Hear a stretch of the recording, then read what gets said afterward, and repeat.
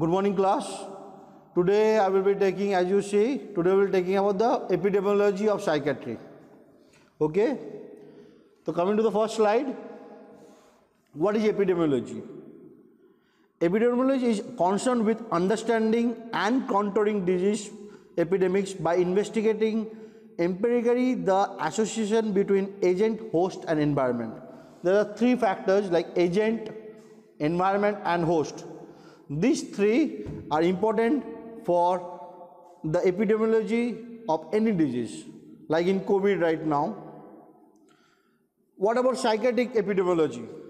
Psychiatric epidemiology lags behind than other branches of epidemiology due to difficulties encountering in conceptualizing, difficulty in diagnosing, difficulty in defining a case, difficulty in sampling, difficulty in selecting an instrument, lack of resources and social stigma. The epidemiology research in uh, India is done by the Indian Psychiatric Association. Journey started six decades ago in the year 1950 to 19, 1950 to 1960. First psychiatric epidemiology study was done by 1961 in Agra by Dr. C.K. Dubey. The development of PA, PSC was done. The development of Indian Psychiatric Survey Schedule, IPSS, was developed in the year 1960. Initial epidemiology studies in India where prevalence of psychiatric disorders were found out, where 9.5 to 370 per thousand population have been found to be suffering from psychiatric problem, but there was a limitation by the wide variety in the prevalence rate. In the landmark of international epidemiology was done, epidemiological catchment area program and national comorbidity survey. Well, IPS, which is known as International Pilot Study of Schizophrenia. It was conducted by WHO. It was conducted over, the, over nine countries, five developed and four developing countries. And the Indian center was Agra. The aim of the study was to feasibility in conducting a few study. Assessment done was baseline was two and five years. Dropout at five years was 24 percent. And the conclusion was outcome of schizophrenia better in developing countries than developed countries. In DOSMED, determinants of outcome of severity of mental disorder. It was conducted by WHO. Are 12 centers in 10 countries. Indian centers were again Agra and Chandigarh. Aim was prevalence of schizophrenia and outcome. Follow was done after two years where 80%, 20% were dropouts, 80% was done. Conclusion, developing countries had better outcome, Indian population less time spent in psychotic episode and less impairment of social functioning, which is a good news for Indians. What is ICMR? Con ICMR is conducting centers in uh, Madras and Lucknow. The course and outcome of F20. F20 is an ICD coding of schizophrenia it is modified criteria was schizophrenia used. Duration was 3 months instead of 6 months and follow-up uh, period was 2 years.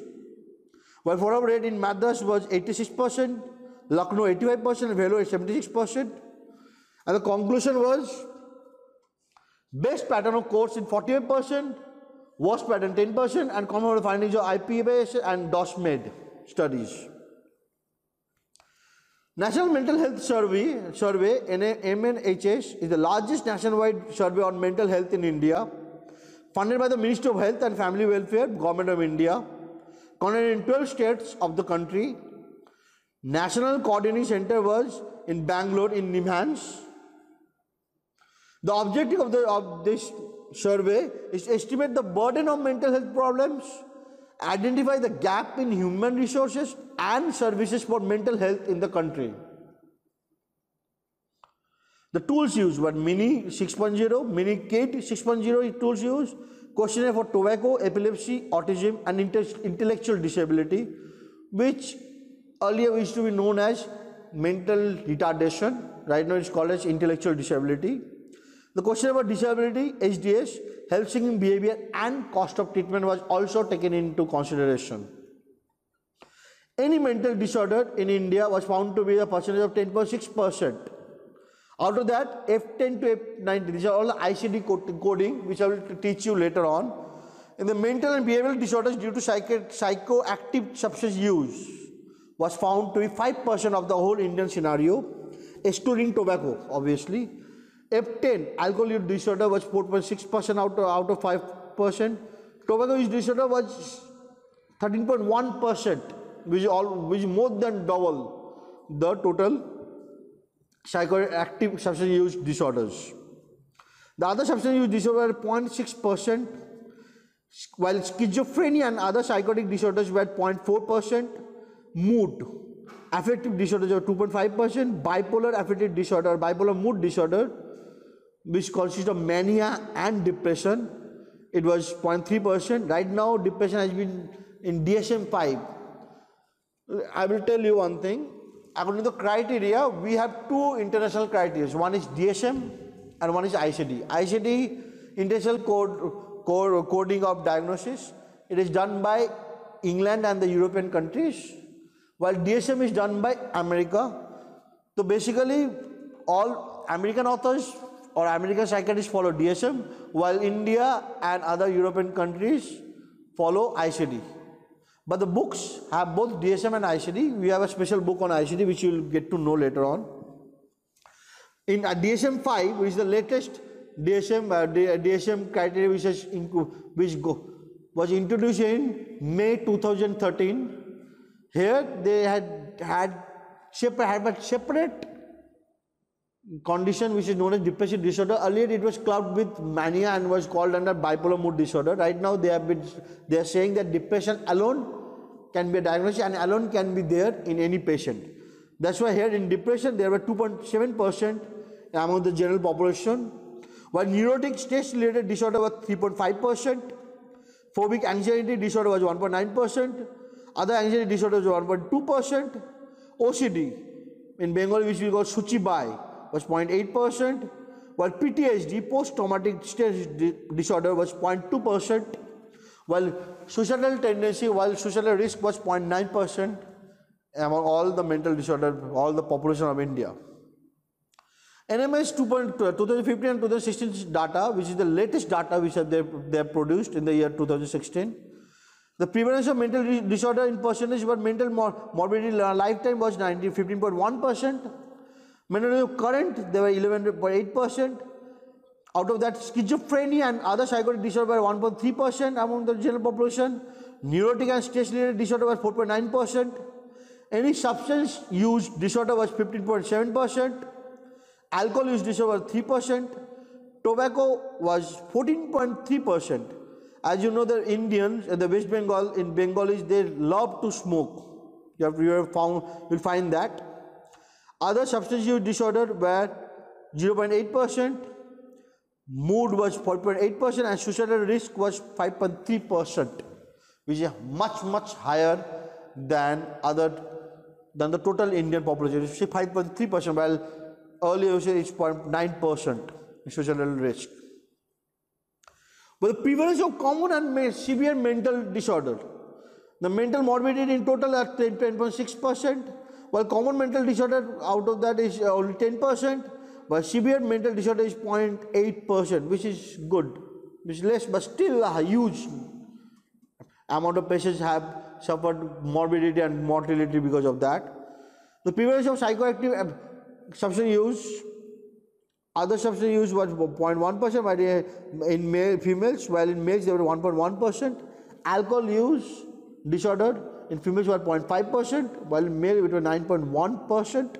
Tobacco in females were 9.8 while in males it's 38.2% 38.2% males were suffering from tobacco use disorder. In tobacco use eh, disorder again you see 20.9% in VP male and female combined while alcohol eh, is 4.6 while other substance use disorder was 0.6% which is much less prevalence of mental disorder percentage in adolescents Total is 7.3%. Male, out of that male is 7.5%, female is 7.1%, rural 6.9%, urban 4.3%, while in urban metro is 13.5%. In adolescents, overall prevalence of mental health morbidity was 7.3%, common mental disorder, disorders were 5.4%, severe mental disorders were 1.4%, autism was 1.6%, and CD, ODD, and ADHD were 0.8%. While prevalence of mental disorder in different states, like in Assam, it's 5.8%, UP is 6.1%, Gujarat 7.8%. This study was done on 12 states. So Rajasthan it was 8.1%, Jharkhand 11.1%, Kerala 11.4%. This is Chhattisgarh, no, City, I think Chhattisgarh maybe, or 11.7%, Tamil Nadu 11.8%, West Bengal 13%, Punjab 13.4%, Madhya Pradesh was 30.9%, while Manipur was 14.1%. The prevalence of epilepsy and intellectual disability. Under NMHS, epilepsy and intellectual disability was identified, identified using the Skinner instrument. The prevalence of epilepsy or GTCS, there are lots of types of epilepsy, but the most common is general tonic-clonic seizures was 0.3% with nearly 2 million persons requiring care, 2 million in India alone. The prevalence of intellectual disability was 0.6% in the surveyed population, resulting in nearly 4 million people requiring care. The treatment gap now we should come to a very important thing is a treatment gap for different mental disorder. In bipolar mood disorder, we have found that 70 percent almost of the patient of bipolar have a treatment gap, which obviously causes prolonged treatment and maybe lifelong treatment and less bad, worse prognosis of the patient. In psychotic disorder is 75.5 percent, while major depressive disorder is 85.2 percent while in neurosis is 83.2% and alcohol disorder is 86.3%. Treatment gap for different mental disorder continued will find excess substance use is 84.5% while common mental disorder is 85%. Severe mental disorder is 73.6% while substance use disorder is 91%. Alcohol is 86.3%. You should know that alcohol has, and more than alcohol, tobacco. Tobacco is because it is easily available, and that's why people have been smoking a lot. And alcohol is costlier. Maybe if alcohol, the price, if the tax get decreased, the alcohol rate might also increase as equal to tobacco. The other substances are 72.9%, while epilepsy is 31.3% and intellectual deficiency is 70.5%, their treatment gap. Because in intellectual deficiency, you should understand the child will be needing a lifelong treatment and it's a very cumbersome, cumbersome and with, with no chance of the, of the child actually coming back to uh, uh, being a normal person because most of the time we, we divide intellectual deficiency under four criteria mild, moderate, severe, and, and profound. In mild and moderate, they, they can lead a normal life, but in severe and profound, they cannot. Even after major, because we cannot increase the IQ, per, IQ of any person. There is no medicine which has been developed which increase the IQ of any, any human being or any animal for that matter. Mental health specialist human resource in NMH state per lakh population psychiatrists, clinical psychiatrists, and psychiatric social workers. There are three types of basically health workers working under psychiatry. In Assam, it was found it is over around 0.3 percent psychiatrists are there um, per lakh population. In Chhattisgarh, which is less, is around less than 0.2 percent. Gujarat is little better, 0.5 percent. Kerala tops the chart with 1.2 percent. MP has the worst and the lowest amount of psychiatric health workers like psychiatrists, clinical psychologists, and psychological social workers, which is around 0.1%, less than even 0.1%. In Manipur, even though the prevalence is the maximum we have found, the psychiatric number of psychiatrists are 0.5% per lakh population. Punjab, where you have seen Uttar Punjab, there are a lot of addictions in Punjab they are my own colleague. They have here. They, two of them have opened rehabs, and they are still not able to come um, overcome their huge um, addiction but general population in Punjab is there the psychiatrists are 0.5 percent Rajasthan is 1.1 percent Tamil Nadu is around 0.3 percent UP 0.1 percent and West Bengal is one of the leading which has 0.6 percent of psychiatrists so there's a huge gap here which need to be fulfilled and maybe because of lack of general of the psychiatrist and the clinical psychologist to guide people there it, but the thing is that psychiatry will always remain a social stigma. My hod had when i had joined postgraduate graduation in 2011 my hod told me when he had told me his story that when he was to enter into md which was in the year 1974 1975 he wanted to do MD medicine. People told him, don't do MD medicine, better do psychiatry because psychiatry is a very upcoming branch. My HOD told me, this I'm gonna retire, retire in a year or two, but still psychiatry is an upcoming branch. It will never, it has never reached the pinnacle because mainly because of the social stigma. Psychiatrists have always always been known as pagal doctor and psychiatric patients are known as pagal, which is wrong. As you can see, there are many many different psychiatric problems like OCD, depression, like manic, schizophrenia, which we call pagal, are addictions, their their PTSD, there are so many anxiety, there are neurosis, which fall, all fall under psychiatry.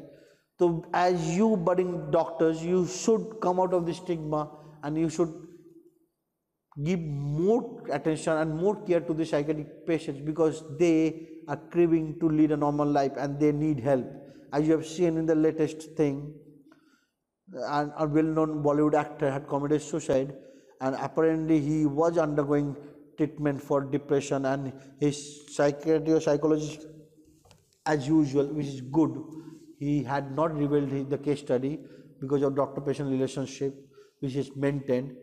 So you understand depression and this suicidal tendency and impulsive suicidal ideation don't only stop at poverty. It can affect anybody. It's time we india we the world understand get out of this taboo this social stigma of being a psychiatric patient and to just move away just sell themselves away from other psychiatric patients and not to give them proper mental care proper proper help like a caregiver which they actually deserve. I hope you all, are the new generation doctors, you all will work together to get out of this social stigma. Thank you for the class today.